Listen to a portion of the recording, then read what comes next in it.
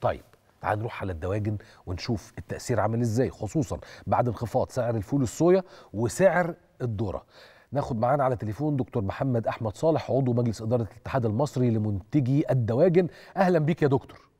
أهلا بيك سيد بيه وكل سنه وحضرتك طيب والساده المشاهدين بخير وبنطمنهم إن شاء الله شواهد رمضان ظهرت في أسعار الفراخ وأسعار نزلت نزول كبير قوي من في الخمس أيام اللي فاتت. أوكي. وإن كان ده النزول برضه مؤثر على المنتجين لأنهم لا يحققوا الربحية المطلوبة ليهم عشان يقدروا يكملوا الدورات. ولكن إحنا كلنا بنساهم في الحد من الغلاء ونزول الأسعار في الفترة اللي إحنا كلنا لابد أن نقف كتف في كتف وإيد في إيد عشان نسيطر على ارتفاع الأسعار وخاصة في المواد الأساسية وخاصة في البروتين الحيواني.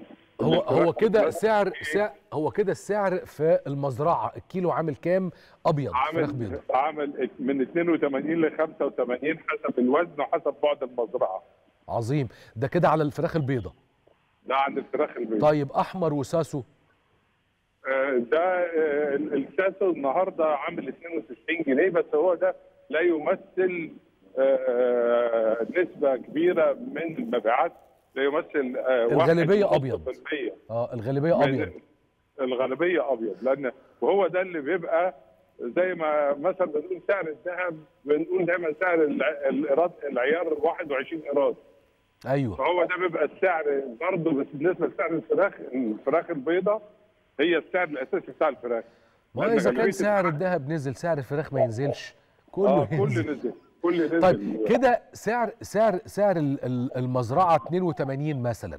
ده معناها إنه يوصل للمستهلك بكام؟ يوصل للمستهلك. دي نقطة بقى يا حضرتك يعني أصبت كبد الحقيقة بالكلمة دي. ليه؟ لأن إحنا بنعاني من مشكلة مزايدة الحلقات الوسيطة أيوة. ما بين المنتج والمستهلك. وده ال- ال- المشكلة بتاعت ليست فقط صناعة الدواجن ولكن كل منتجين أي حاجة في مصر. آه. الحلقات الوسيطة ديت لابد أن تتقلص ولابد إن يتحط لها نظام.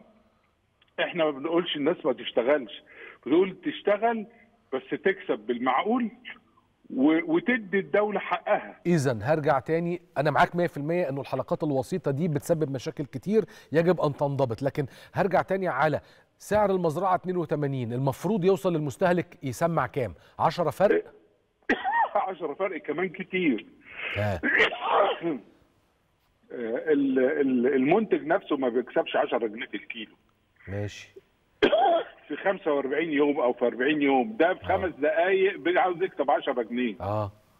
يعني يعني إحنا بنقول ال- المكسب بتاعه أما يبقى كل يوم 2.5% ده يعمل له في الشهر حضرتك لو اشتغل 20 يوم في الشهر هي- هيعمل 10% في الشهر مش في السنة. أيوه. آه فالموضوع ده لازم لازم يبقى فيه مناقشة مجتمعية عشان نوصل بمنظومة إزاي الحلقة الوسيطة يتحدد سعر نسبة الربح بتاعتها. يعني المفروض إنه يعني لما يبقى كل ال- ال- ال- الحلقات الوسيطة دي كسبانة تالت ومتلت يبقى سعر المستهلك 92 آه بالظبط كده. وده كده كتير. عن كده. وده كده آه، كتير. يعني وده 90 كتير. كفاية يعني. آه آه كمان أقل من 90 كفاية. 89 يا ريت. أنا لو عليا عايزه ب 50 آه. آه والله. إحنا إحنا نفسنا نرجع نشتري الذره زي زمان ب 3000 جنيه هتلاقي الفراخ بقت ب 25 جنيه مش ب 50 زي ما حضرتك بتقول. والله يعني, يعني لما- أنا أنا اوعى على الدولار ب 75 قرش سنة 79 كان عندي أربع سنين وقتها.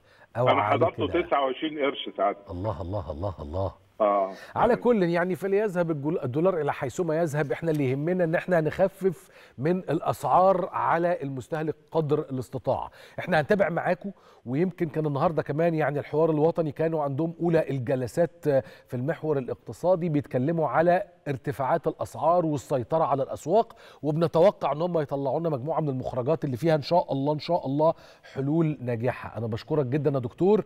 كل الشكر ليك يا فندم دكتور محمد أحمد صالح عضو مجلس إدارة الاتحاد المصري لمنتجي الدواجن.